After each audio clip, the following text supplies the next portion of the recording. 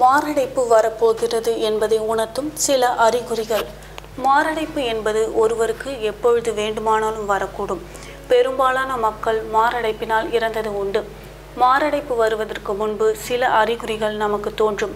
நாம் தான் அதை கண்டு கொள்ளாமல் விட்டுவிட்டு பின்னர் பெரும் கஷ்டத்தை அனுபவிக்கிறோம். மனிதனாக பிறந்த ஒவ்வொருவருக்கும் ஏதாவது ஒரு காலத்தில் மாரடைப்பு வரக்கூடும்.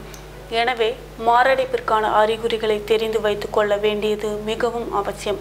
இங்கு மாரடைப்பு ஏற்பட போகிறது என்பதை வெளிப்படுத்தும் சில முக்கிய அறிகுறிகள் கொடுக்கப்பட்டுள்ளது. இதயத்திற்கு செல்லும் ஆக்சிஜனின் அளவில் இடையூறு ஏற்படும் போது மூளைக்கு சமிஞ்சை அனுப்பப்படும். அப்படி அனுப்பப்படும் சமிஞ்சை ஒரு சில அறிகுறிகளை வெளிக்காட்டும். இதில் முதலில் தென்படும் அறிகுறி வியர்வை.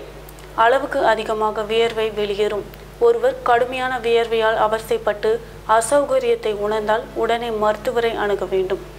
மார்பு மற்றும் கைகளில் வலி. மார்பு மற்றும் கைகளில் கடுமையான வலியை சந்திக்கக்கூடும். அதுவும் தாங்க முடியாத அளவில் வலியை அனுபவிக்க நேரிடும். மயக்க உணர்வு.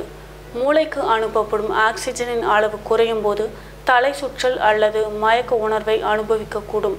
ஏனெனில் இதய தசைகள் கடுமையாக பாதிக்கப்பட்டு இதயத்தால் உடலுக்கு ரத்தத்தை அனுப்ப முடியாமல் மயக்க நிலை ஏற்படும். அடி வயிற்று வலி. குமட்டல் அல்லது வாந்தியுடன் அடிவயிற்றில் வலி இருந்தால் அது மாரடைப்பை சுட்டி காட்டுகிறது என்று அர்த்தம். குறிப்பாக அதிகாலையில் இம்மாதிரியான நிலை ஏற்பட்டால் அது மாரடைப்பு வரப்போகிறது என்றுதான் அர்த்தம்.